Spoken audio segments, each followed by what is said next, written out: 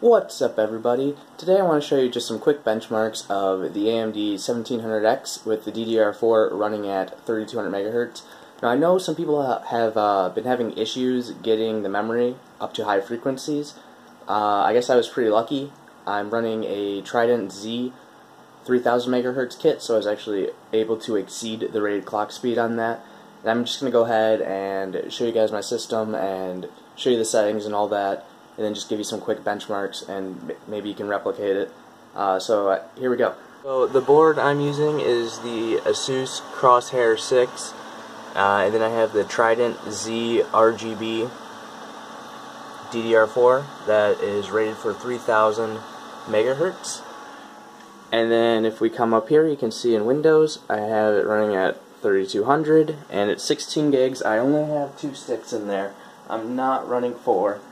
I'm guessing that would probably impact the clock speeds that I'm able to reach. And then my CPU, since I'm only running the 212 EVO, I was only able to achieve 3.98 gigahertz, which isn't that impressive of an overclock.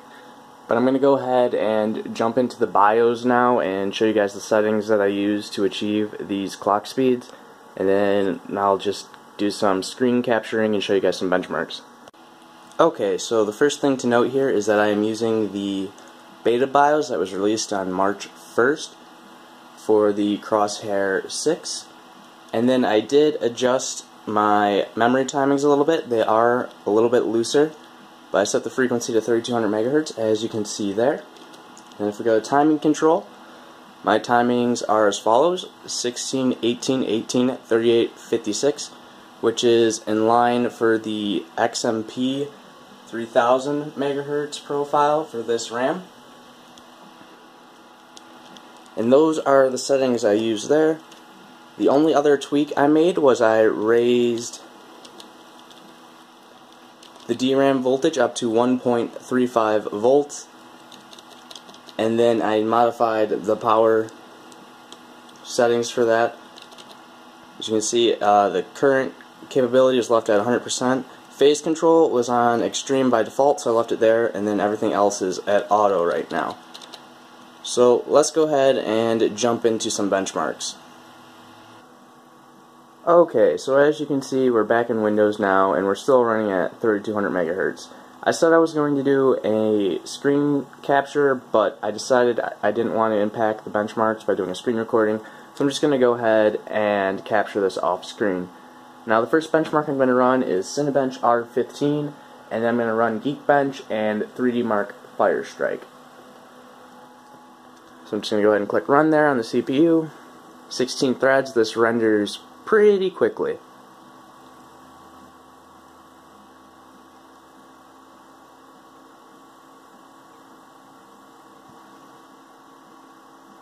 Synthetics and rendering is one area where Ryzen definitely outshines competition especially at this price point. Alright, and I actually just uh, posted my highest score of 1747. But right below that you can see the two other scores that I got at 3.98 gigahertz, and those were also done at a RAM speed of 3200 megahertz. So pretty consistent overall, pretty good. And I think that if I had a more ideal power delivery and better cooling, I could probably hit some higher clock speeds on the CPU as well. But there's the first benchmark running at 3200 megahertz RAM. And next I'm going to go ahead and load up uh, Geekbench. I'm, I'm not, oh, I should have saved that score, but oh well. Alright, so next up we have Geekbench 4. And then this one takes a little bit longer to run, so I'm just going to go ahead and speed up the video while the benchmark runs.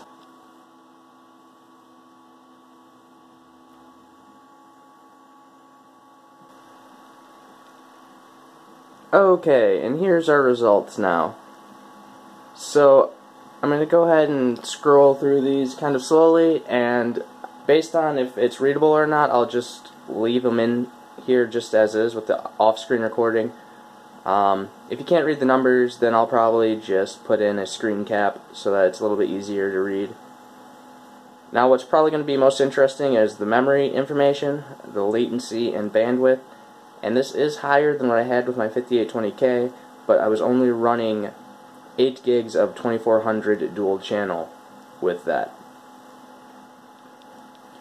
And I'll be posting some more benchmarks later on of this 1700X versus my 1520K, or sorry, 5820K, especially in regards to gaming and not just synthet synthetics. So the last thing I'm going to go ahead and run is 3D Mark Firestrike. Now I'm going to go ahead and just skip to the physics section. Alright, so we just loaded up the physics test. And as you can see here, we're running at a very strong 65, I would say.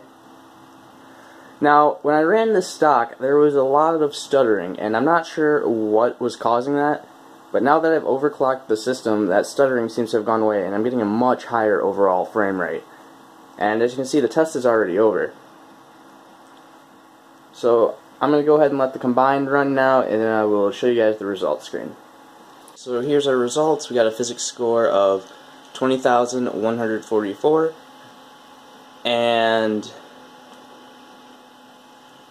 we had a average frame rate of 63.95.